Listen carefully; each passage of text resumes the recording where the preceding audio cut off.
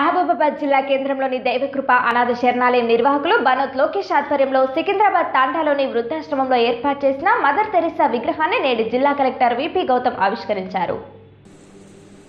అలాంటి వాళ్ళని చూసి బాధపడి వాళ్ళకి ఏమైనా చేయాలి మనవంతు ఏమైనా చేయాలని ఒక మంచి ఉద్దేశంతో ఈ ఇనిషియేటివ్ని తీసుకున్న లోకేష్ గారికి మళ్ళీ ఒక్కసారి కూడా కార్తీక శుభాకాంక్షలు తెలియజేసుకుంటున్నాను. అట్లనే వాళ్ళ సతీమణికి కూడా నేను అభినందిస్తున్నాను.